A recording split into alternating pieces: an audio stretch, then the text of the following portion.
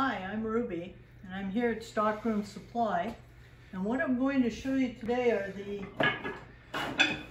three tools that are part of the uh, Record Power bowl turning set that you can buy. This is the 3 8 bowl gouge. Okay.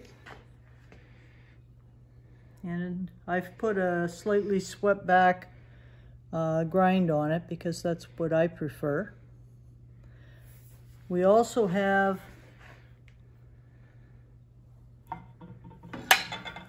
this parting tool.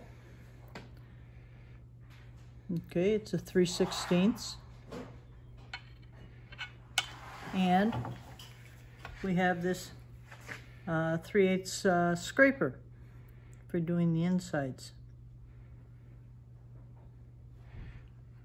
It's a half inch, I believe, isn't it? Uh, half, That's okay. this half inch scraper uh, for doing the insides. So we have the blank mounted on um, a faceplate and it's being held in the uh, jaws of the chuck. Now, when I start turning this, I'm going to start turning here on the corner. And the reason I'm not going to go this way across is because first of all, Ethan very nicely made this into a nice round blank for me. And the other reason is that this is like a pencil. The tree grew in this direction. You would never cut across a pencil this way. You'd cut this way. So I'm going to be starting here on the corner and working my way up to the top. Okay, hopefully that makes sense. All right, first of all, put a face mask on.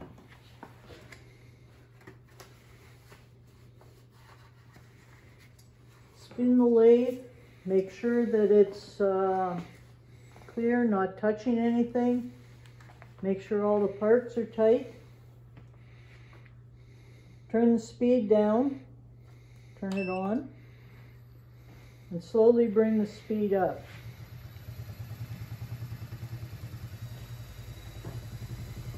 Now what I do is I turn the speed up till the machine vibrates, then I back it off a little bit. Okay, turning from here, tool is down by your pocket, hand is anchored against the tool rest,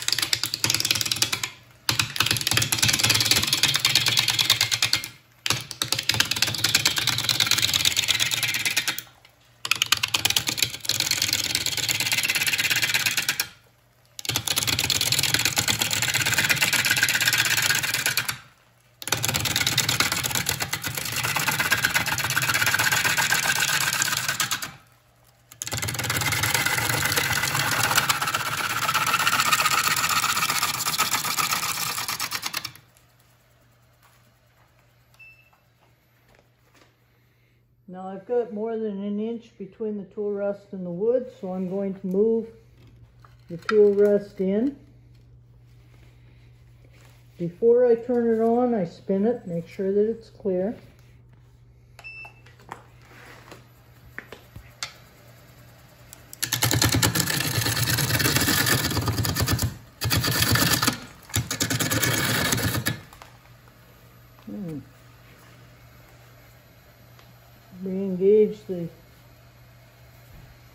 Live center.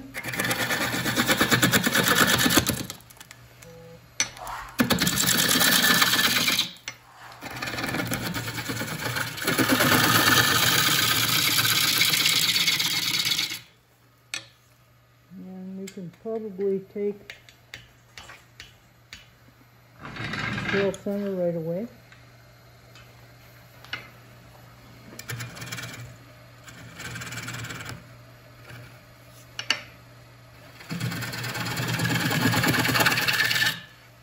I'm going to make a nice flat area here where I can make a mortar for the chuck to go in.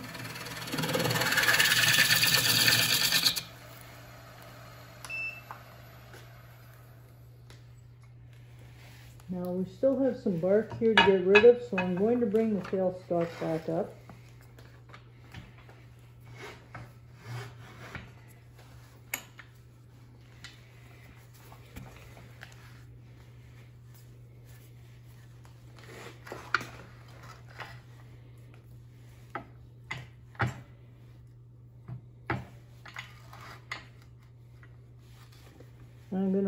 More here on this corner.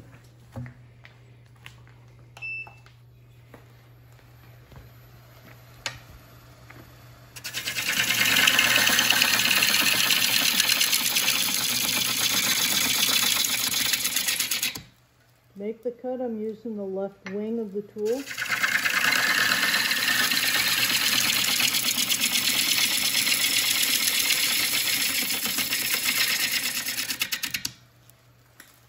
Okay, so this is a full cut.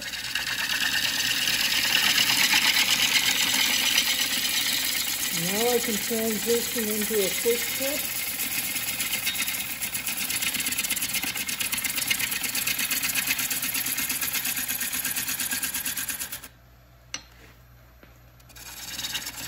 I always want to keep looking at the top of the piece. Make sure what my shape is that I'm creating. Notice that I always stop the lathe before I move the tool rest.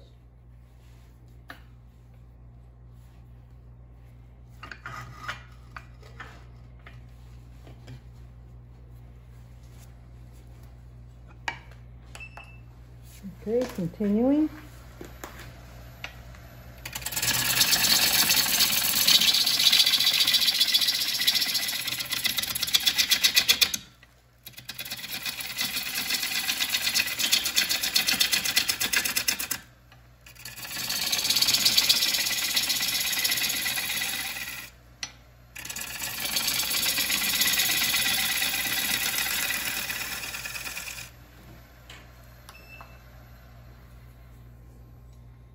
There's a little bit of a crack in here from the pith being very close to this edge right here.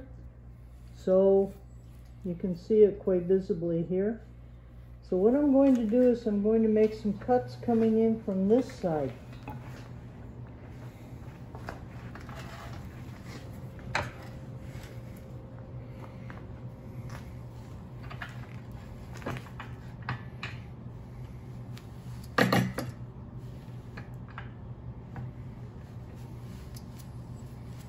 Now remember our pencil goes like this. This is the way the tree grew. On this side I was cutting in this direction. On this side I'm going to be cutting this way.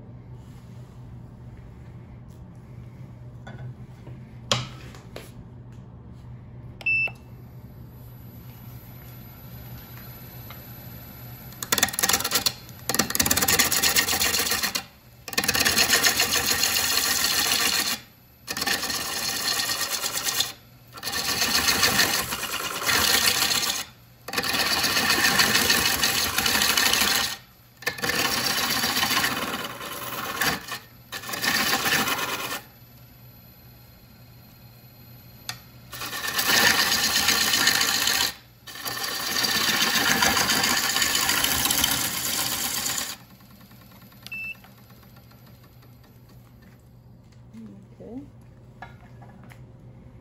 Okay, I at.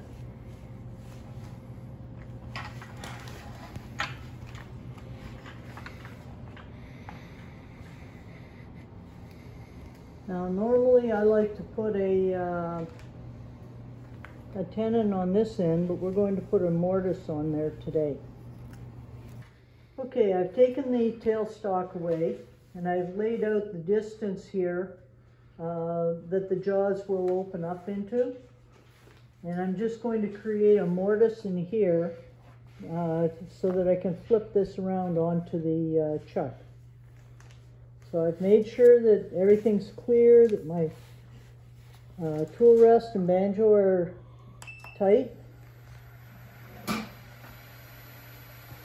Turn up the speed a little bit. Okay, and with the bowl gouge now,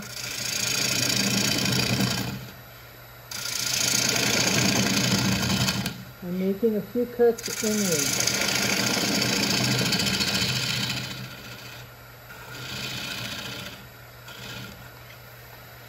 I'm going to use the parting tool that comes with the set, the ball set.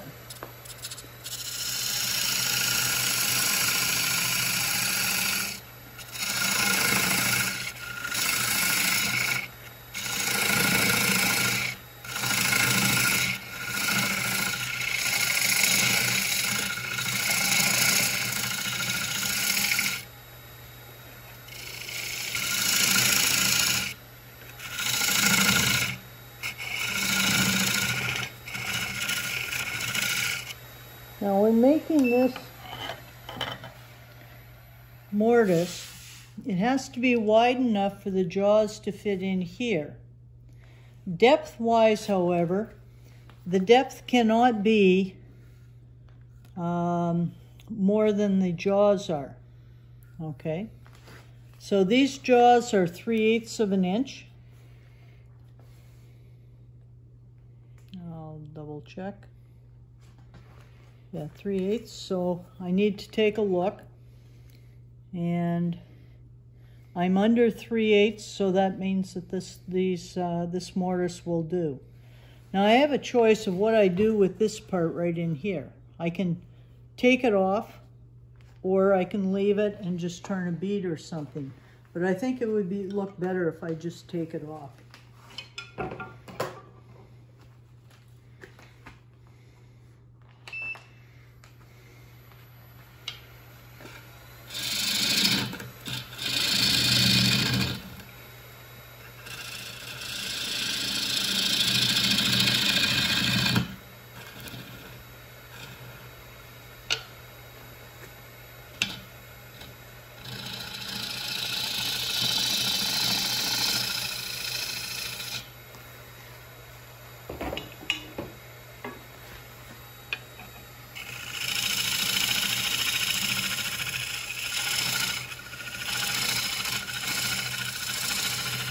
Now these jaws have a very slight dovetail, so I'm going to turn the tool and just cut in on an angle, create the dovetail for them.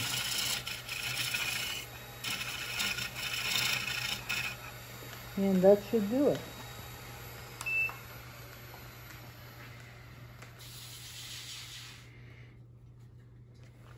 Are you still filming? Yep. I'll stop here Okay. anytime. Or go ahead. Now, if you were going to sand this, this is when you would sand it. If you were going to take a knurling tool and put some design in here or some, uh, well, in fact, I'll put a couple of, uh, I'll use this tool to put a couple of lines so it's not just plain. Using just the corner of the tool.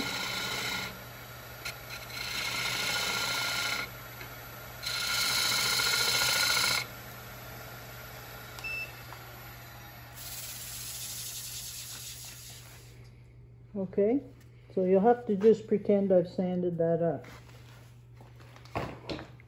Now, the outside of the bowl used to have a lot of tear out on it. So I'm going to make some cleaning cuts just to clean that up. Make a cleaning cut, you're going to start out here, engage the corner of the tool at about one o'clock. As soon as it starts to cut, all I'm going to do is push it across here. Now normally this tool is used with the handle very low. For this cut you raise the, the handle. So the tool is not cutting, it's starting to cut. Now the shavings that are coming on? They're like thin spaghetti noodles.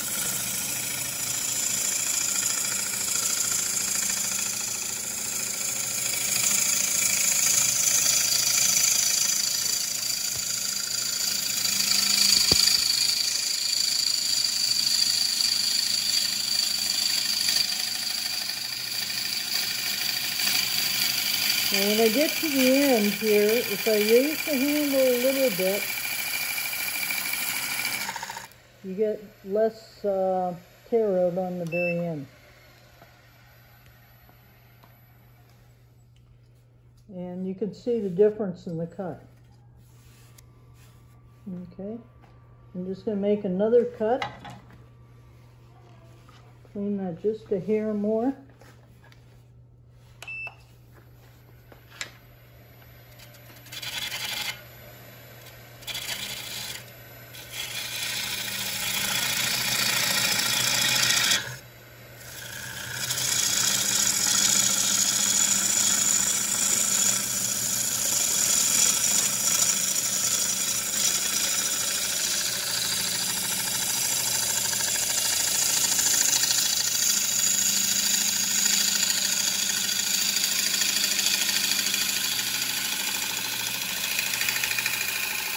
Raise the handle. And don't breathe through the whole operation. A little lump here I want to get rid of.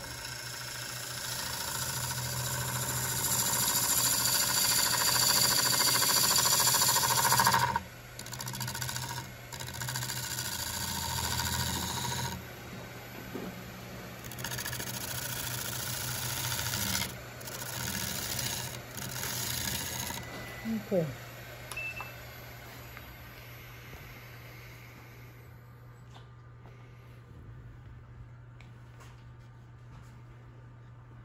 And I think I might flatten this just one little bit right on this corner.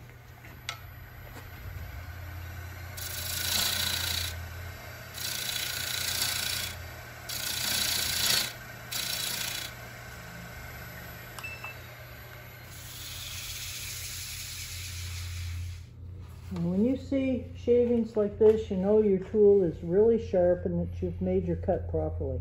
Okay, we've taken it off the lathe. Now, what I'm going to do is put the mortise onto the jaws of the chuck. And this fits on quite nicely. And I'm going to expand the jaws. Now when you hold the bowl, hold it right in the very center with your pressure and tighten it. If you look carefully, you'll see that the bottom of the bowl is not touching the jaws down here, and that's what you want. You want it to be touching the very top of the jaws so that it'll hold better. And with any chuck, you always tighten it from both sides, not just from one side. Now before I take the faceplate off, what I'm going to do is turn the speed all the way down and turn it step to the side and turn it on and make sure that the bowl is running true. And this one certainly is running true. Okay. Now I can go ahead and remove the, uh, the faceplate.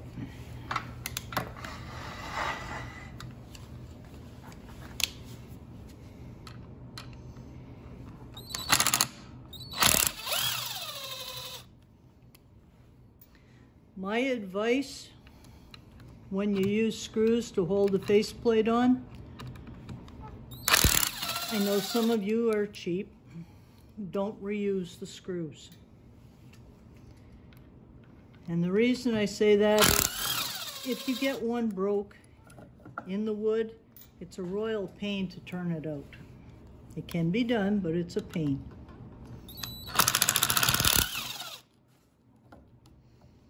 So save yourself the, the trouble for the cost of a, of a screw. For hollowing the bowl, what we've done is we've cantilevered the uh, headstock. That way an old person like me doesn't have to reach over top of the bed and screw up their lower back. I've set the uh, tool rest in the right position so that I will be cutting at, at center. Turn it, make sure that it's clear. I've turned the speed down. Now I'll turn it on. And slowly increase the speed.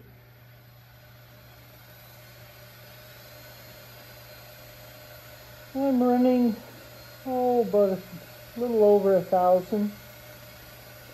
Now, to present the tool to the wood, The handle should be way over here to the right. Now, for film, normally I would turn it this way. For film purposes, I'm going to put my hand under here. And you come in on center this way.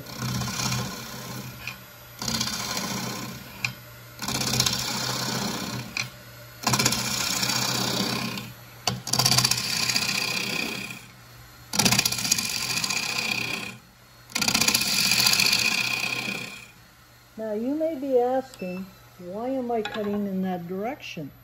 Well, if we go back to our pencil, okay, our pencil is here.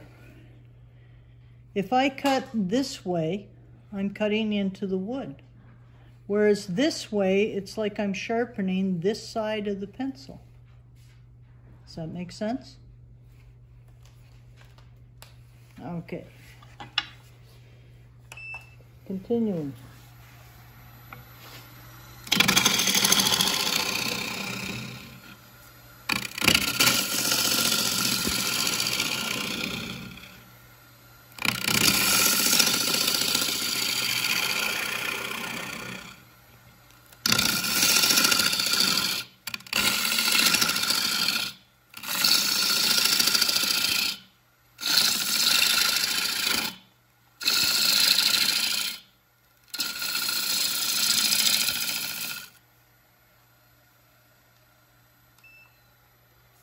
Now, to the outer edge here, I have to give a little bit of thought to what I'm doing. If you bring the camera around here, see where the pith of the wood is? Right here? If I leave that pith, it's going to crack and split from that spot. Um, we can't see it on this side, but definitely here. So I'm going to take this rim down and take that right off. And while I've got the lathe stopped, I'll just move it, the tool rest in a bit. Always keep the tool rest in as close as you can. It's clear.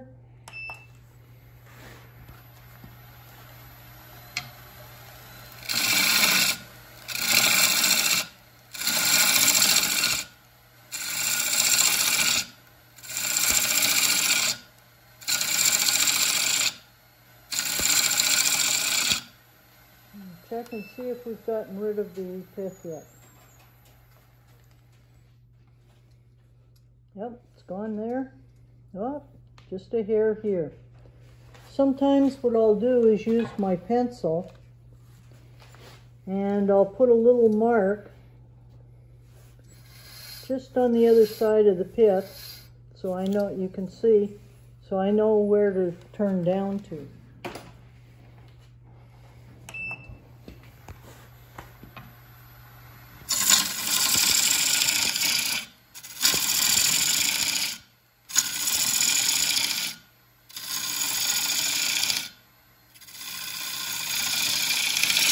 Okay, now back to the center.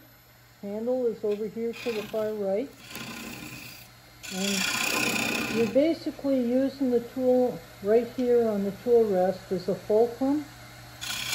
And just swinging the handle back towards yourself.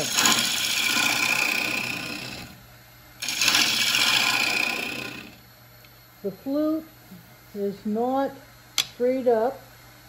It's probably at about a 45 degree angle. So if you looked at it like a clock, I'm cutting here at the top of the right ring.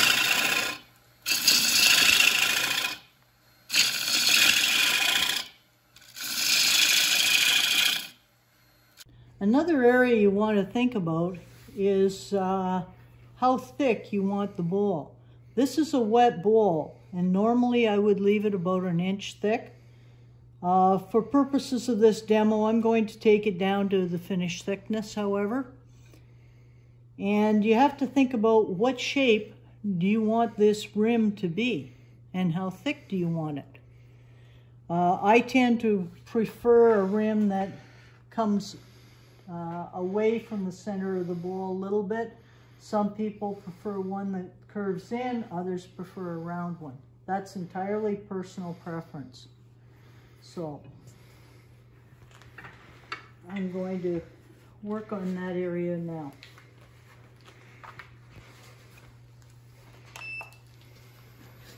So cant it away. I'm just taking a nice little cut. There. I'm going back to the center.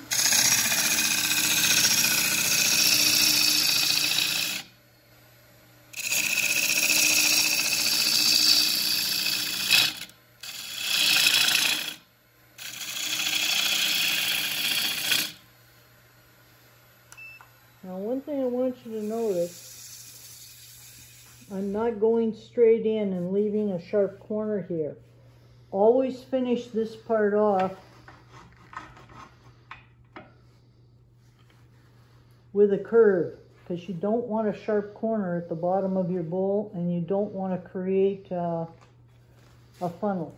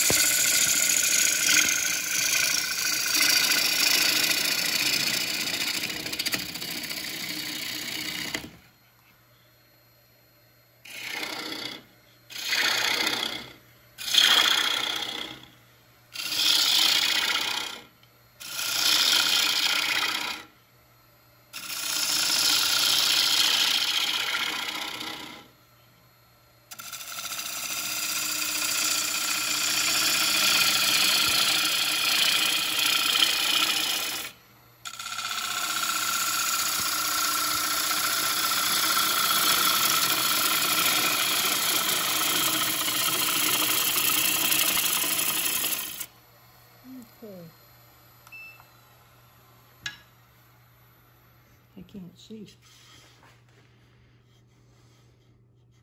Okay, one thing I want to do is measure my my thickness.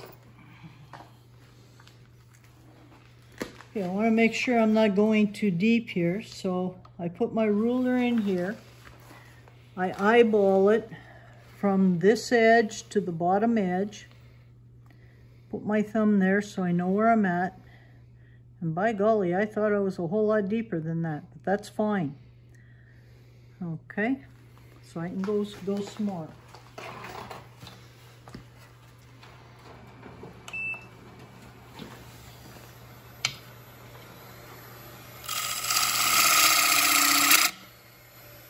Now if that happens, give yourself a little ledge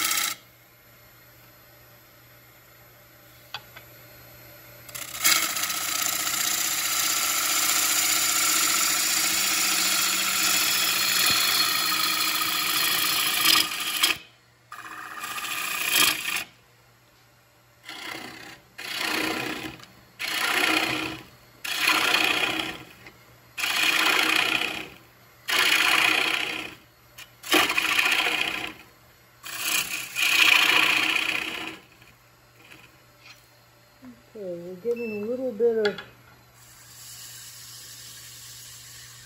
unevenness. It's time to move tool rest in closer. Make sure that it's not touching anywhere.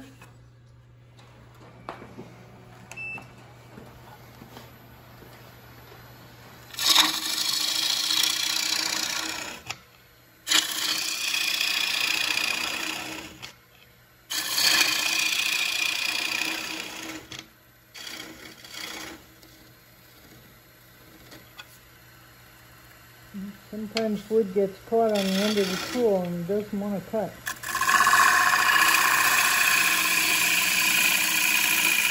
Now this is more of a finishing cut.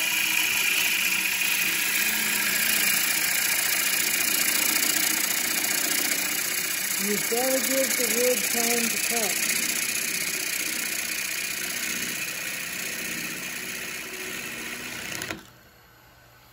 Okay.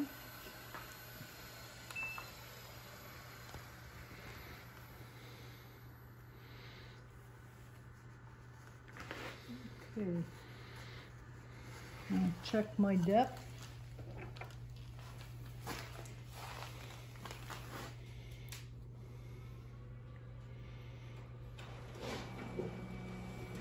Okay, I still have a good ways to go. Couple more cuts.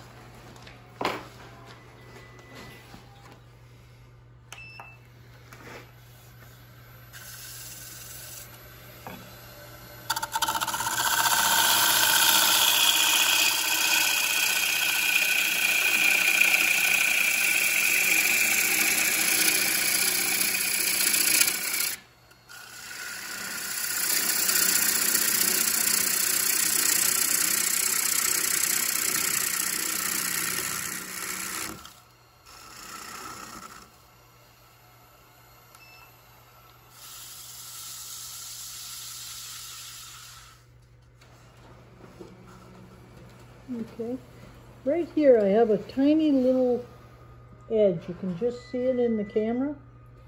One way to get rid of that is to use the scraper. Now this also comes as part of the set. It's a round nose scraper.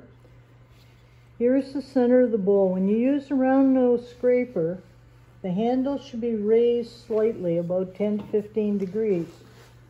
So to accomplish that, I have to raise the tool rest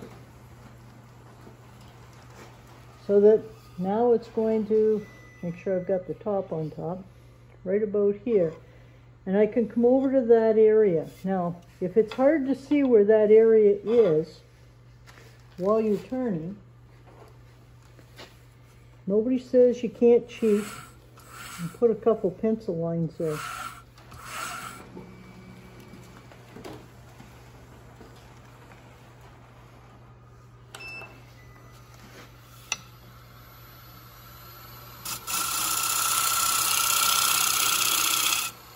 Notice I'm still making my cuts in the same direction.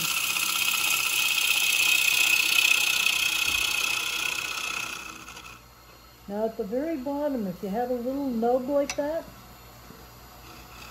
just come up underneath it and you can take it right out.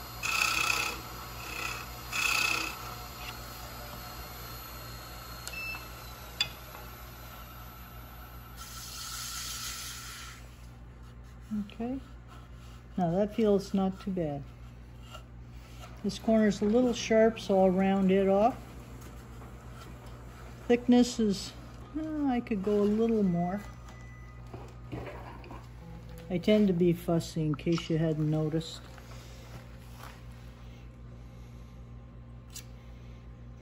Okay. Yeah, I think one more cut and I'll pick it up I'll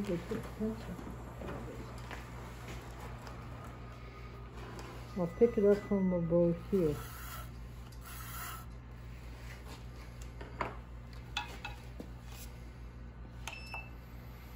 What? I might as well do the cut with the scraper, otherwise I have to lower the tool rest for the bowl gouge.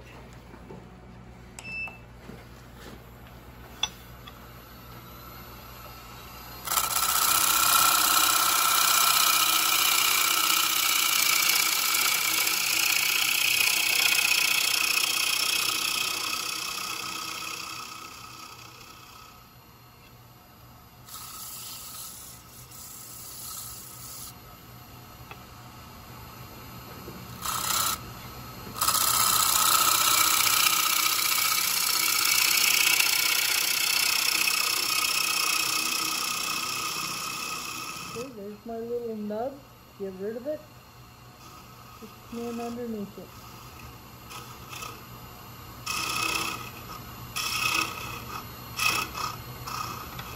One thing I like about these tools is that once you sharpen them, they stay sharp and have a nice cutting edge.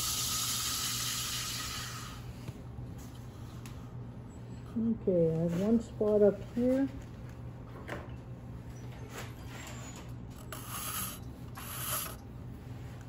I go through a lot of pencils.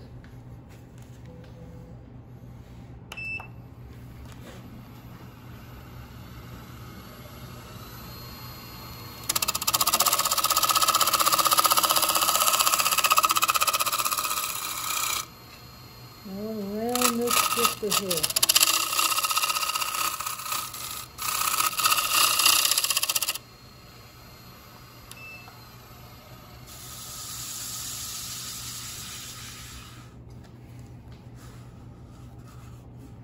Okay, one spot here I would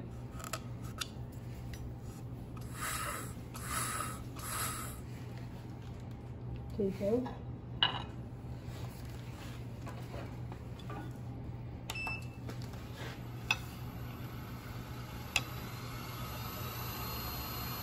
So start hardly touching the wood, take a little more off that area and paper it off.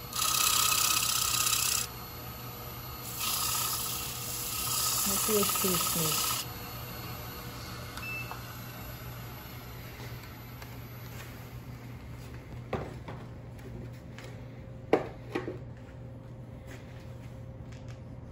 Okay, now there's one area I need to address, and that's right here in the center. I have a little divot. So I want to make sure I get that out.